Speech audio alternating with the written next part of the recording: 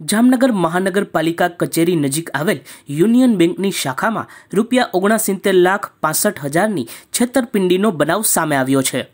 બેંકના જ પૂર્વ હોદ્દેદાર દ્વારા લોન સંબંધિત ગોટાળા કરવામાં આવ્યા હોવાની માહિતી છે.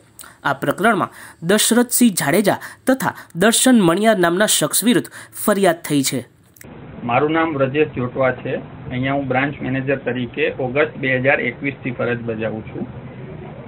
મારા પહેલાંના જે બ્રાન્ચ મેનેજર હતા, દશરથસિંહ રાજેન્દ્રસિંહ જાડેજા, એમના વિરુદ્ધ, એમના કાર્યકાળ દરમિયાન મુદ્રા લોનમાં ધોખાધડીની અને ફ્રોડની ફરિયાદો થઈ છે. ટોટલ અગિયાર જેટલા ફરિયાદી છે, જેઓએ એ ડિવિઝન પોલીસ સ્ટેશનમાં ફરિયાદ નોંધાવેલી છે. એની રકમ ઓગણસાઠ લાખ પાસઠ હજાર જેવી થવા જાય છે.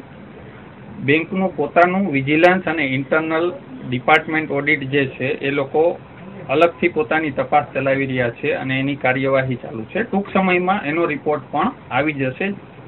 એના બેઝ ઉપર બેંક કર્મચારી વિરુદ્ધ કાયદેસરના જે કાર્યવાહી કરવાની થશે પગલાં લેવાના થશે એ લેશે. કઈ રીતના આ આખું કૌભાંડ છે તે આચરવામાં આવ્યું હતું? અને અન્ય કોઈનો સાથીદાર બ્રાન્ચમાંથી મુદ્રા લોન જે થયેલી છે, એમાં એમના ફેબ્રુઆરી ઓગણીસથી લઈ અને જાન્યુઆરી એકવીસ સુધીના પહેલામાં એમણે અલગ અલગ સમયે આ લોનો કરેલી છે.